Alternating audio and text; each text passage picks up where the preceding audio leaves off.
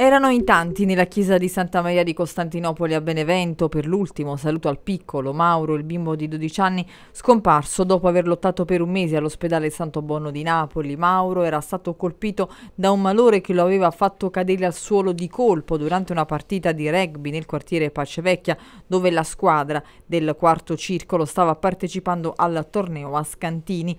Subito i primi soccorsi, la corsa al San Pio di Benevento e il trasferimento nelle ambulanze al Santo Bono di Napoli. Il quartiere Ferrovia dove era nato e cresciuto il piccolo aveva organizzato anche una fiaccolata di preghiera.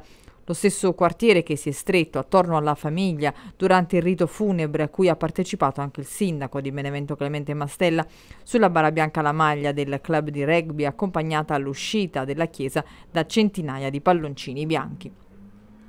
La Guardia di Finanza della compagnia di Nocera Inferiore ha sequestrato a Pagani 7.600 giocattoli contraffatti, oltre a brand di serie televisive di successo della Disney Marvel, risultati contraffatti e non conformi agli standard di produzione delle famose case madri.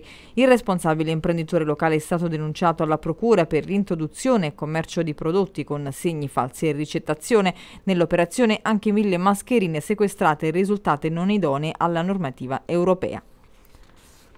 Su disposizione della Procura di Napoli, della distrettuale antimafia, i militari della Guardia di Finanza hanno eseguito nove misure, otto in carcere, una con obbligo di dimora, indiziato per associazione per delinquere finalizzata al traffico internazionale di sostanze stupefacenti, compresa importazione e detenzione di ingenti quantitativi di droga.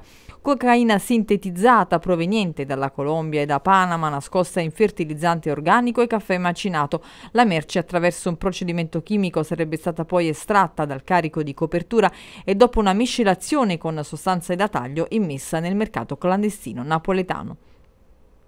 La squadra dei Vigili del Fuoco del distaccamento di Lioni è intervenuta sulla strada statale 7 bis Ofantina nel territorio del comune di Nusco in provincia di Avellino per un incidente stradale che ha visto coinvolte due autovetture.